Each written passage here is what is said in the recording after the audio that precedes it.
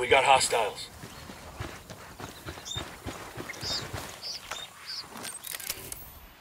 Deploying drone. Marking a tango. He's close to that local. Marking a captain. I got a third.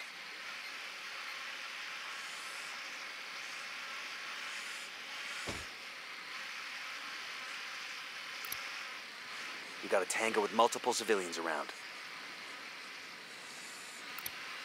I got another. That's five. Target marked. Keep an eye on your background.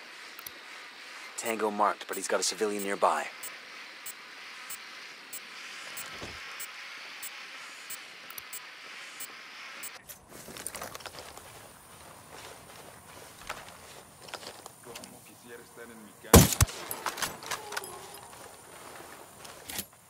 We got civilians dangerously close. Check your targets before you shoot.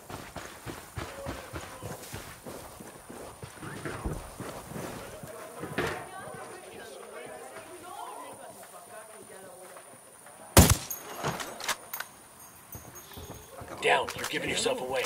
¿Qué pedo? Algo se está moviendo. Anda un compa por acá.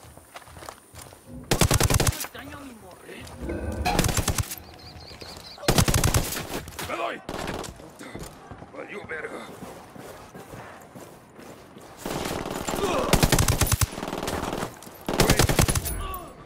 Pedo. Ya nos chingaron. We're clear over here. God, these fuckers are sloppy.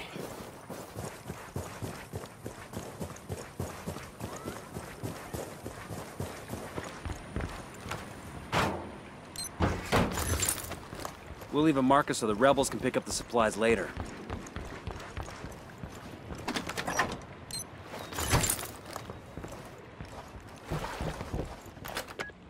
Karen, put on your happy face. I'm getting word about some Argentine politicians who are going to come visit the resort in Agua Verde. Your whole theory about corruption in Argentina has some legs. I don't think anything about the get-together is set in stone, but I'll probably get involved in the shindig at some point. Like usual, Carzita's doing all the work for now. God.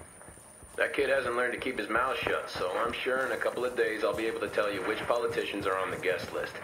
In the meantime, can you look into these rumors I'm hearing that the rebels in Bolivia might start working with the rebels in... That's not the kind of shit I like to hear, man. We already know that the Peruvian rebels are trying to control the cocaine in their country. I mean, they advertise that shit. They post videos online about that shit. Are we trying to get rid of Santa Blanca just so Pac Katari and his guys can take over? I mean, I know it's a possibility. I'm not a total idiot. But Pac Katari needs to find other allies, man.